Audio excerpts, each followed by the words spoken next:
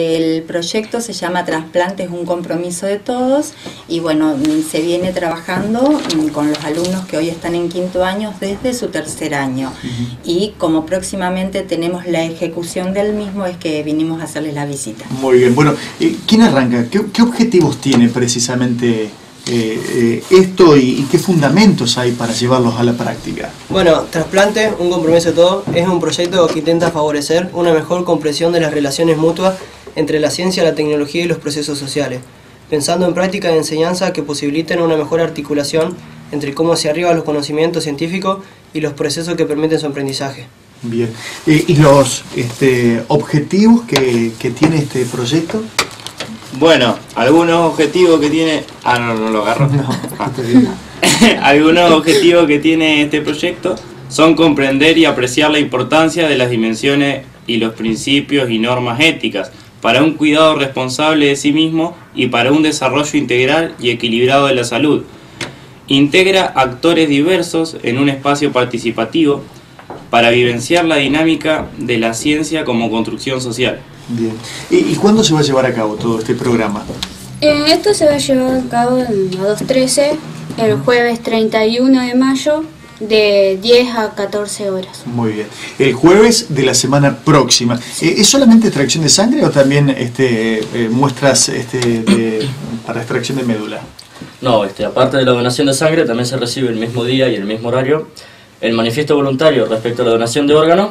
La expresión de voluntad de donar es un acto personal y por lo tanto no admite sustitución ni representación y además es un acto esencialmente, esencialmente revocable. Bien. O sea que quien otorga el manifiesto para donar órganos también lo puede revocar las veces que lo quiera. Está muy bien. Eh, la inscripción como donante de médula ósea también se va a aceptar, ya que una persona que se inscribe como donante de médula ósea queda registrada en el Banco Mundial de Donantes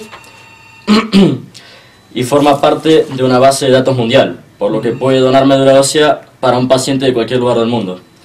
Encontrar un donante compatible es una labor bastante compleja realmente. Claro. ¿Y, quiénes vienen, Alicia, a hacer esta extracción? Eh, sí, como ya lo han hecho en otras ocasiones, es gente del Cudayo. Nosotros trabajamos de manera conjunta con ellos.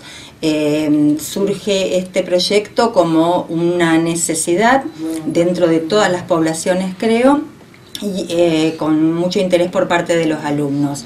lo que yo quiero aclarar es que mm, todas aquellas personas que tengan intención de acercarse a la escuela, ya sea para donar sangre, inscribirse como donante de médula ósea o también eh, manifestar su voluntad de donar órganos, eh, previamente puede hacer una consulta en la página que el Cudayo Santa Fe tiene en la web. Entonces todas las dudas eh, van a poder ser evacuadas para, para, este momento. Bien.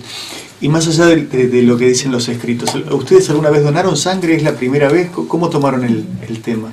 A ver quién me cuenta. Bueno, por mi parte es la primera vez que voy a donar sangre.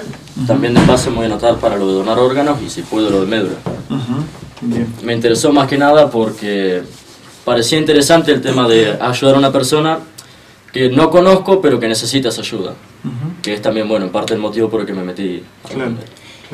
Yo quiero aclarar que eh, desde los 16 años lo pueden hacer, pero lógicamente quien va a donar sangre tiene que ir acompañado por un mayor. Bien, por más que tenga 16 años. Sí, sí, sí, sí, tiene que estar eh, eh, padre, madre, tutor junto con ellos en ese momento para avalar esta situación. Bien, está muy bien. ¿Y el resto donó?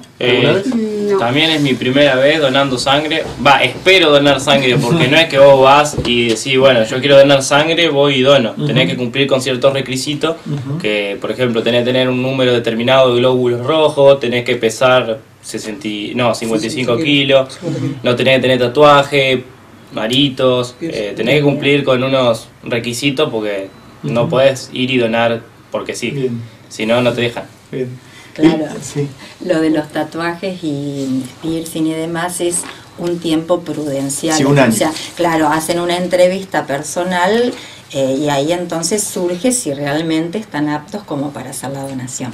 Muy bien. ¿Y ustedes donaron en algún momento? Mm, yo jamás he donado Creo que será mi primera vez. Muy bien. Si eso sí, con el permiso de mi papá.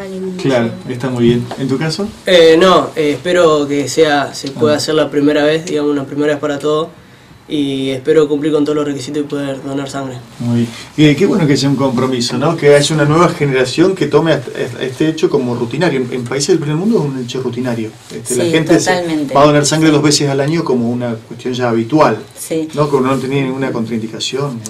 Totalmente, sí. Nosotros, por ejemplo, lo que eh, investigamos es que en la provincia de Santa Fe es eh, una de las provincias en que hay mayor cantidad de donantes.